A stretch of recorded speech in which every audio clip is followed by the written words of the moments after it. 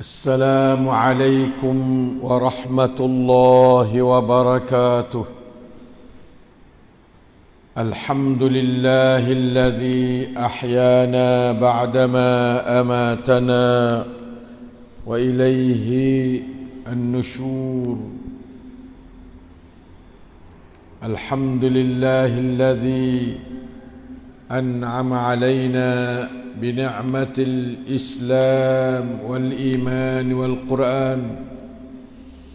اللهم صل على نبينا وحبيبنا المصطفى محمد صلى الله عليه وسلم وعلى آله وصحبه. ربنا ظلمنا أنفسنا وإن لم تغفر لنا وترحمنا لنكونن من الخاسرين. اللهم يا رحمن يا عليم يا حليم علمنا القرآن وفقهنا في الدين. واجعلنا من اهل القران الذين هم اهلك وخاصتك يا ارحم الراحمين ان شاء الله سوره An-Nahli ayat 97 hingga seterusnya akan kita tadabbur pada pagi ini insyaallah taala muka surat dalam Qurannya 278 muka surat dalam Quran ialah 278 insyaallah taala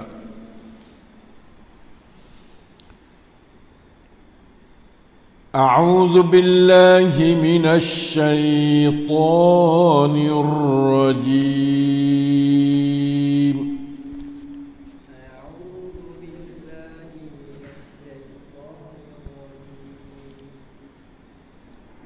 من عمل صالحا من ذكر أو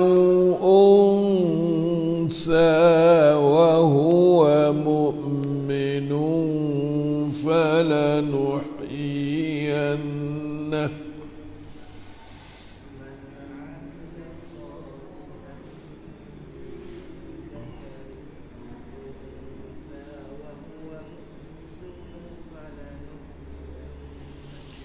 فلنحيينه حياة طيبة.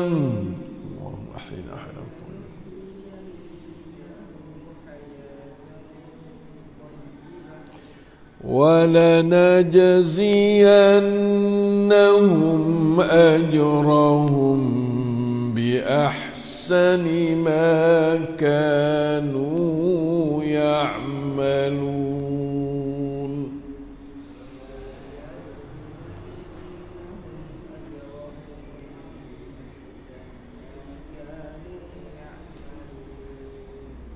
فإذا قرأت القرآن فاستعذ بالله من الشيطان الرجيم.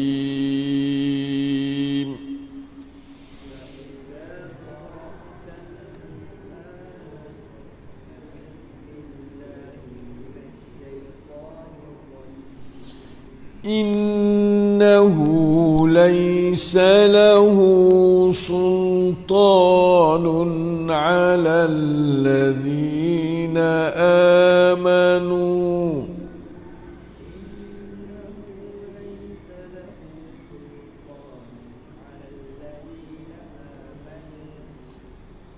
وعلى ربهم يتوكلون.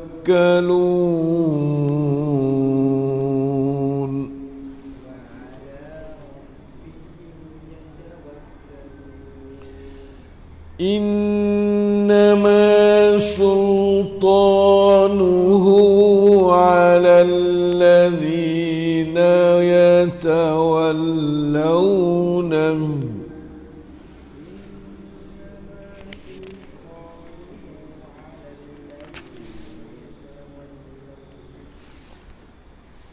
والذين هم به مشركون.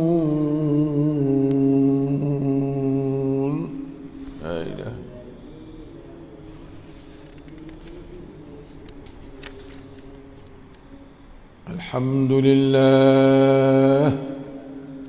Dapat kita membaca dan mendengarnya akan Empat keratan ayat Allah daripada surah Nahli 97 hingga sampai kepada ayat yang ke-100 Allahu Sami'ul Basir Al-Alimul Hakim Ar-Ra'ufur Rahim Al-Rahim Al-Qaribul Mujib Al-Hayyul Qayyum Alladhi la ilaha illahu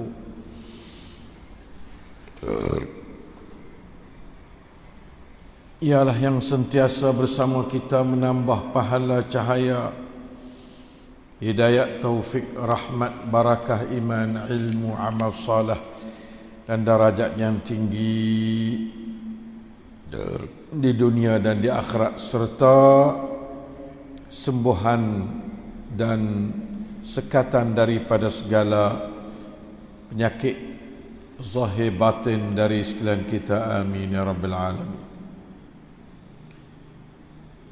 Mari kita dengar ajaran Allah yang sangat baik untuk kita. Wajib kita beriman pada ayat-ayat seperti ini. Iaitu man amila salihan min zakarin aw unsa.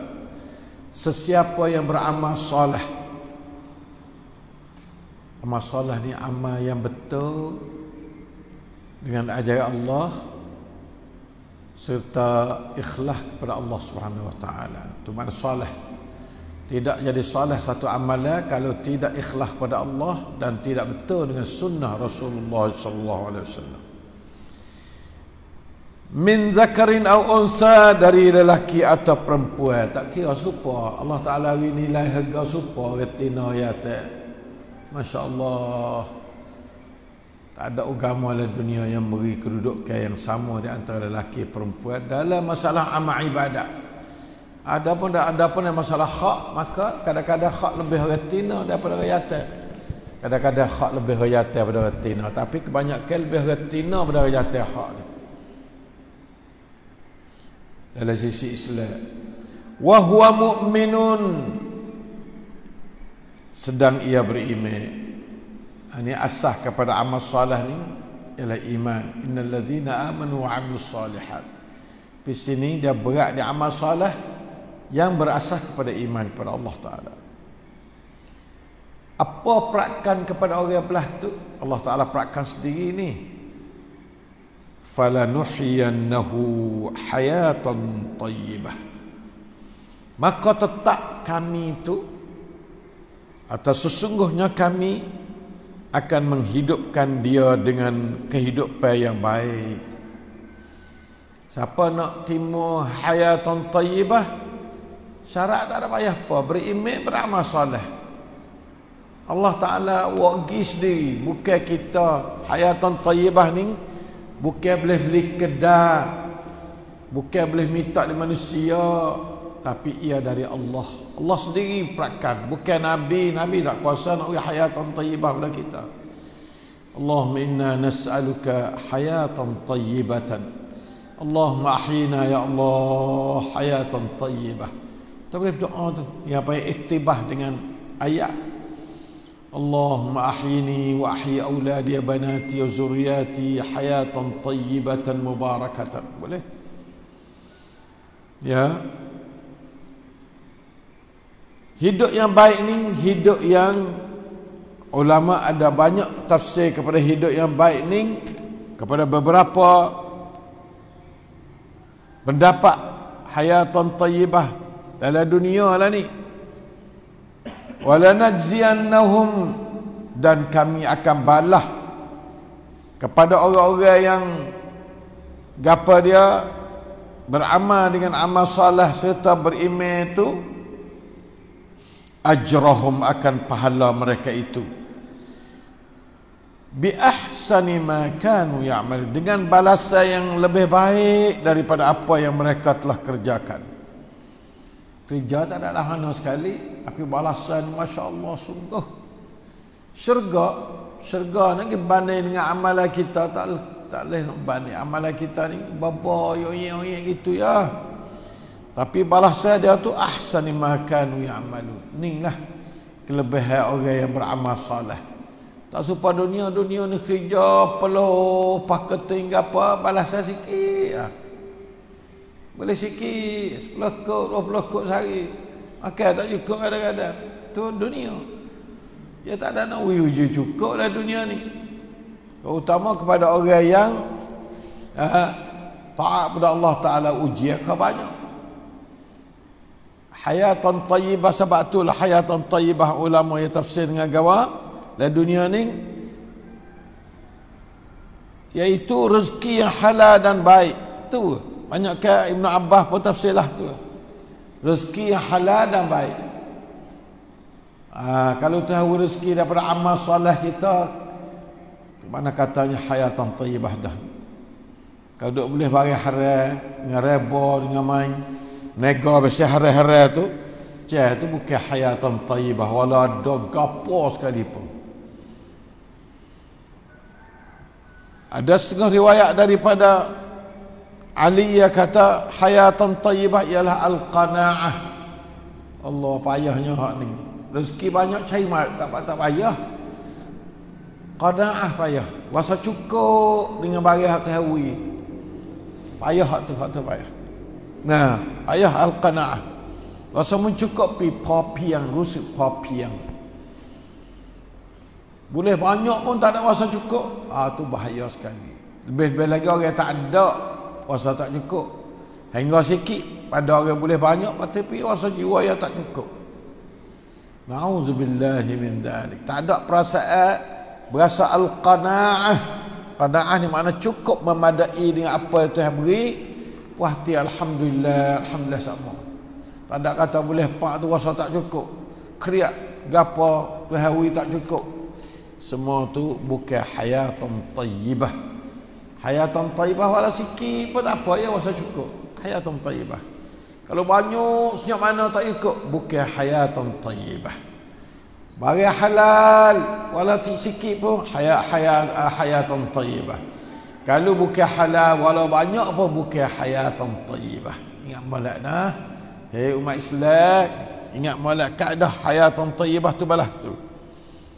Nah, ada setengah tafsir daripada Ibn Abbas juga Nah, atau daripada Ali bin Abi Talha daripada Ibn Abbas iaitu as-sa'adah bahagia wasa bahagia มีความสุขกับชีวิตแม้สกอดสกอดาบ่ได้พอมีความสุขดกภาษาburuk-buruk pun แต่ว่ามีความสุขดก lemah ligan sawana pun kriat dok ah maka itu adalah satu benda bukan hayatun thayyibah mi ความสุข ni adanya keluarga yang baik nah anak yang bahagia มีความสุข السعادة لا لا إله إلا الله kata Al Hasan la yatibu li ahadin hayatan illa fil jannah ha tu Hasan gi ke syurga no hayatan tayyibah dah nah adapun dhahak ar-rizqul halal wal ibadah fid dunya ada rezeki yang halal dan boleh buat ibadat dengan molek lah dunia hayatan taibah.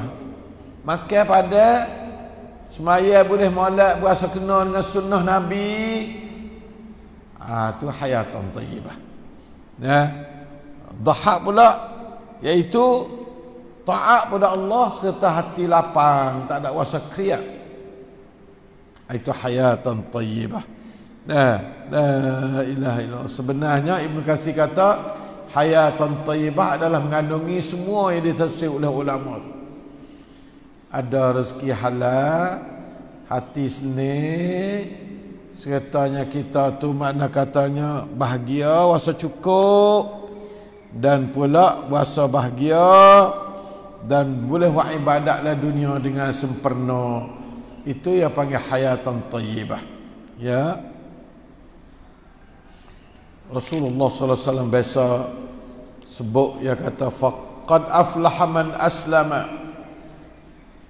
Telah jayalah oleh orang yang mengislamkan diri dia. Waruziqa kafafan dan diberi rezeki sekadar cukup papiang.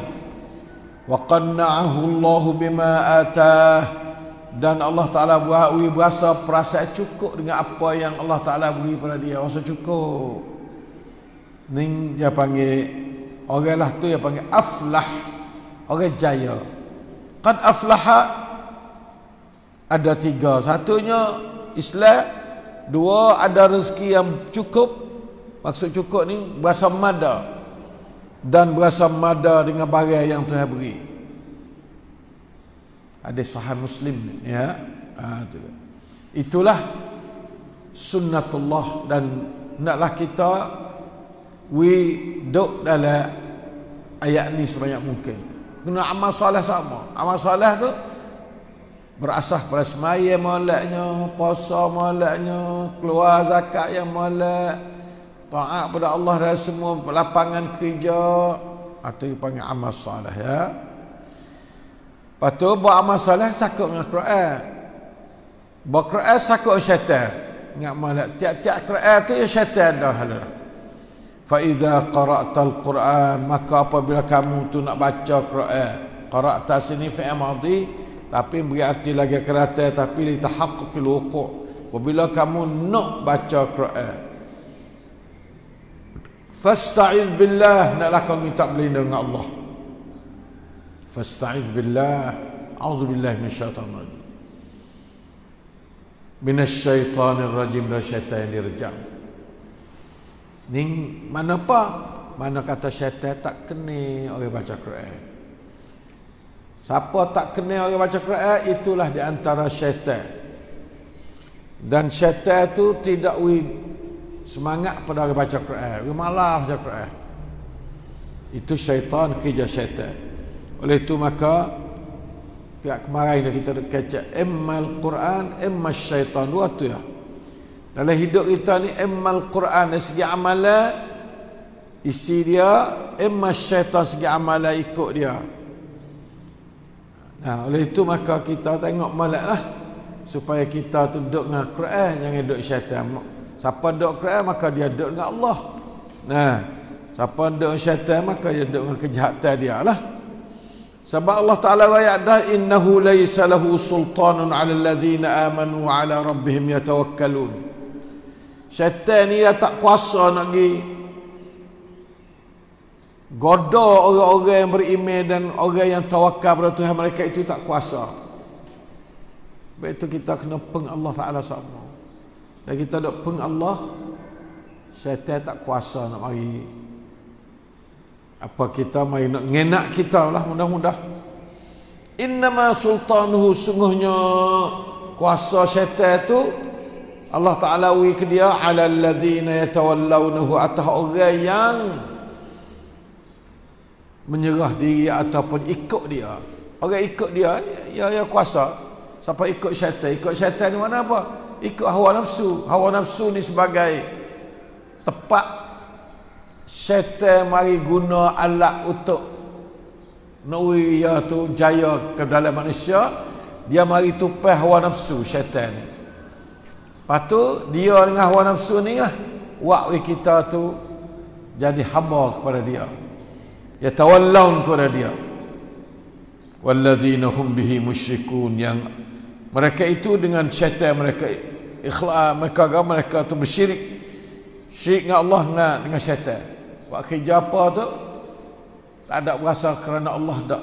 Kerana tu kerana ni syaitan mari peradak-peradak lah sebab kita ikhlas pada Allah SWT walladzina hum bihi ay bisyaitan musyrikun A'udzu billahi minasyaitonir rajim. La ilaha illallah. Orang yang menjadikan syaitan sebagai wali ya, sebagai wali itulah. Dia panggil yatawallawnahu. Kata mujahid mana? Yang taat kepada syaitan. Yatawallaw itu maknanya yang taat kepada syaitan. Jangan kita sekali. Jangan kita taat kepada syaitan. Nah, syaitan ni apa kerja dia? Lawan Quran. Bagi-bagi hak Quran suruh ni ha, dia lawan kau ni Allah Ta'ala suruh baca Quran ha, dia malah Allah Ta'ala suruh faham Quran ha, dia tak faham Allah Ta'ala suruh tadabur ya saya tadabur nah itu semua tu tu perangai syaitan min amali syaitan Allah Ta'ala suruh baik dengan orang dia buat jahat dengan orang musuh orang. Allah Ta'ala suruh perapat orang dia ham sengai orang. Nah na'udzubillah min syaitan. Itulah dia panggil kerja syaitan. Asyaitan Diddul Quran. Al-Quran adalah tujuannya Yuharibus syaitan. Nah, uh, Quran ini nak memerangi syaitan. Siapa tak ada Quran tak kuasa nak pergi Quran.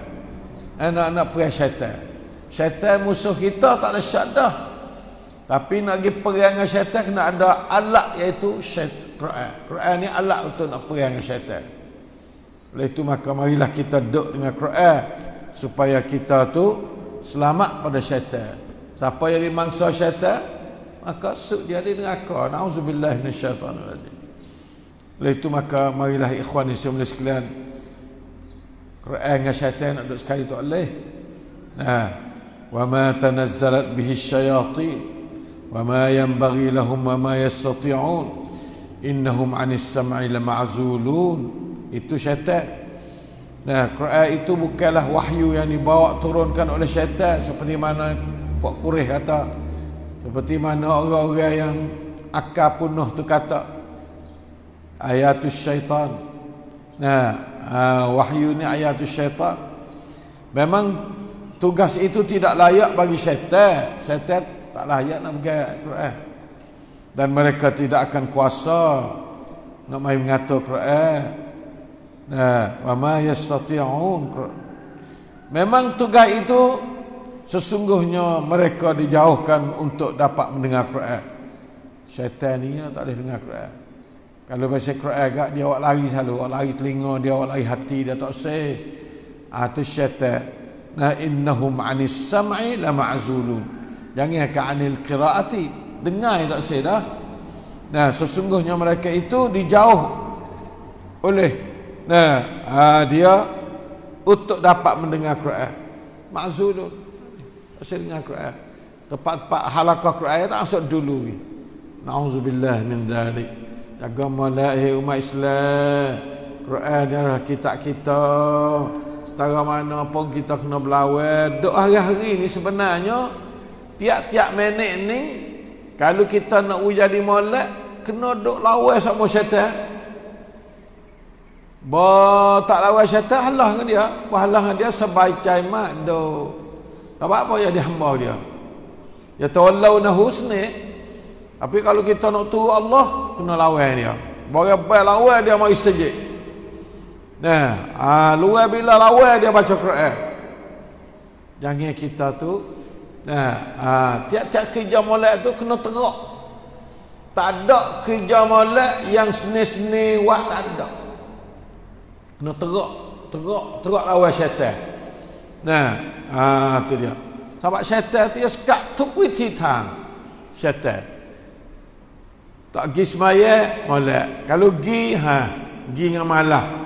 Ha, bos semaya pula, ha, semaya dengan ingat kau lain. Hari cerita tu, hari cerita ni, banyak kau perkara yang kita tak rasa mikir, ingatlah semaya. Sebab syaitan yang orang bersuah. Alhamdulillah. Oleh itu maka, marilah. Rahmat besar Quran. Karena itulah nah dapat menjaga ia menahan segala bentuk gangguan syaitan ni rahmat Allah.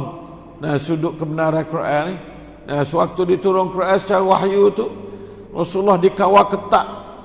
Nah dari berbagai-bagai tentera Allah mari jaga. Sebab tu syaitan tak tak kuasa nak nak huing Quran. Kalau kalau lain pada malaikat Jibril nyuhuin dia dah. Malaikat Jibril gagah waktu turun wahyu. Dah. Ha tu. La ilaha illallah. Baiklah ulama-ulama kata Ibn Kasir dan lain di antara rahmat Allah di sudut menjaga kebenaran Al-Quran ia menahankan segala bentuk gangguan syaitan. Allah Taala gagak jaga.